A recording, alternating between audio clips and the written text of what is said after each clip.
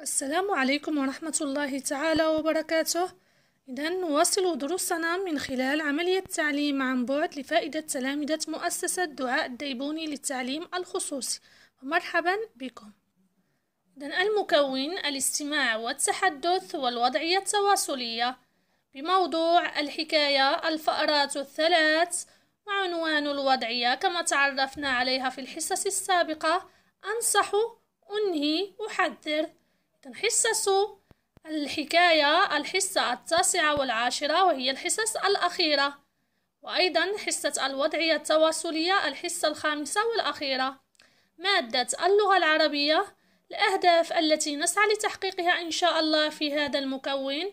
سرد أحداث الحكاية والإنتاج. وأيضا استثمار أسلوب النصح والنهي في, الوضع في وضعيات جديدة. إذا لنتذكر من جديد أحداث الحكاية. إذا آه، الفأرات الثلاث يسرقن الزيت من الجرار. نعم. وأيضا الجرة كان بها القليل من الزيت. ولا ننسى اتفاق الفأرات الثلاثة على سرقة الزيت. وأخيرا سقوط الفأرات الثلاث في الجرة بسبب طمعهن وشراهتهن. إذا بالنسبة للإنتاج وكما تعودنا دائما في هذه الحصة تغيير عناصر الحكاية. وعندما نقول عناصر الحكاية هنا نقصد بها الشخصيات الأماكن والزمن والأحداث.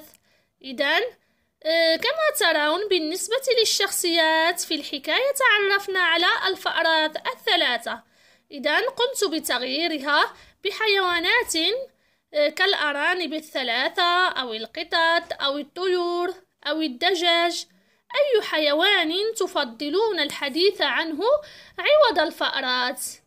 بالنسبة للأماكن في الحكاية عندنا الجرة.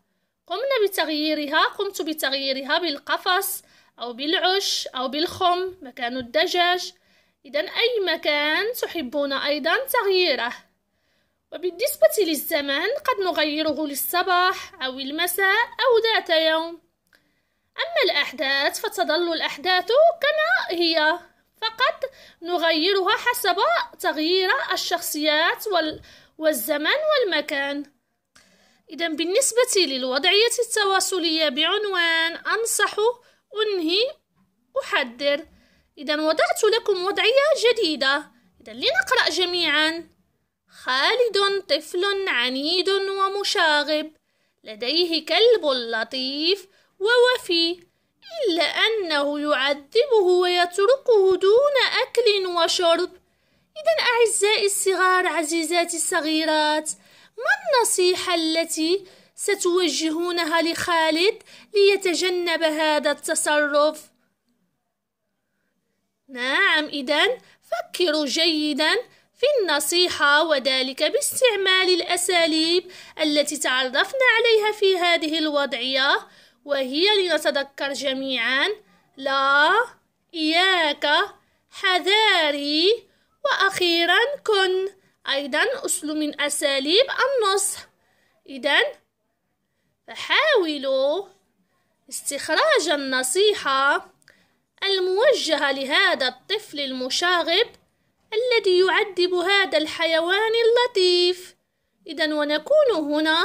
أنهينا حصص كل من الحكاية والوضعية التواصلية. إذا دمتم موفقين. وإلى اللقاء.